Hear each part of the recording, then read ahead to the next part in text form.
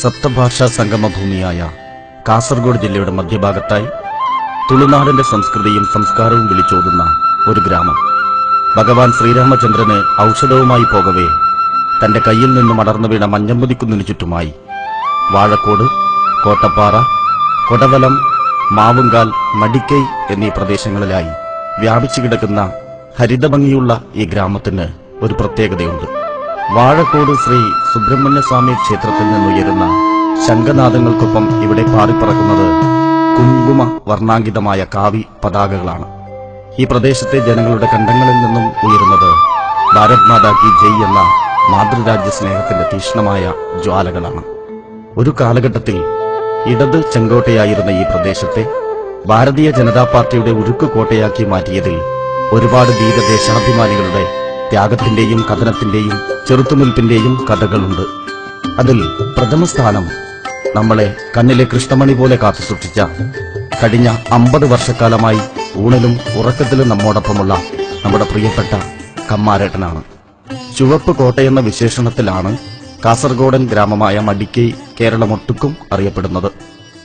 ആ മൂന്നക്ഷരത്തോട് കമ്മാരൻ എന്ന പേരുകൂടി ചേർത്താൽ ജനമനസ്സിൽ ചുവപ്പ് കാവിയായി മാറും. മനസ്സിൽ മാറിമറിയുന്ന നിമിഷകാലമല്ല മടിക്കൈ ഗ്രാമത്തിൽ നിന്നും മടിക്കൈ കമ്മാരനിലേക്കുള്ള ഉയർച്ചയുടെ പടവുകൾക്കുള്ളത്.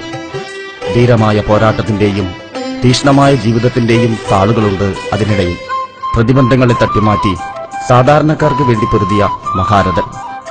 മനസ്സിലെ ആശയങ്ങളെയും നിലപാടുകളെയും മുറുകെ പിടിച്ച രാഷ്ട്രീയക്കാരൻ.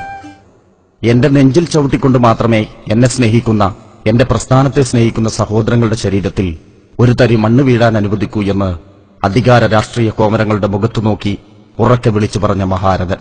ഇന്ന് എൺപതാം വയസ്സിലേക്ക് പ്രവേശിച്ച നമ്മുടെ പ്രിയപ്പെട്ട കമാരട്ടൻ അഥവാ മടിക്കൈ കമാരൻ അവരുടെ ത്യാഗപൂർണമായ ജീവിതം അദ്ദേഹം സഞ്ചരിച്ച പാതയിലേക്ക് ഒരു തിരിഞ്ഞുനോട്ടം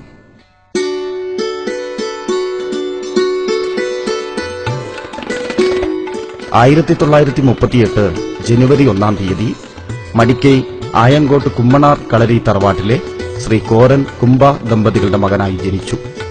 Chemmattam Vayal G L P school Hosdurg board school Durga higher secondary school എന്നിവിടങ്ങളിൽ വിദ്യാഭ്യാസം നേടി. വിദ്യാർത്ഥിയായിരിക്കുമ്പോൾ തന്നെ രാഷ്ട്രീയ രംഗം അദ്ദേഹത്തിന്റെ രക്തത്തിൽ അലിഞ്ഞു ചേർന്നിരുന്നു. ബി ജെ പി എന്ന പ്രസ്ഥാനത്തിന് വേണ്ടിയും ബി ജെ പിയെ നെഞ്ചിലേറ്റുന്നവർക്ക് വേണ്ടിയും നിത്യ ബ്രഹ്മചാരിയായി ജീവിതം ഒഴിഞ്ഞുവെച്ചു കനൽ ചവിട്ടി വന്ന നാൾവഴികളിൽ ഓർമ്മിക്കാനും ഓർമ്മിപ്പിക്കാനും ഒരുപാട് അനുഭവങ്ങൾ.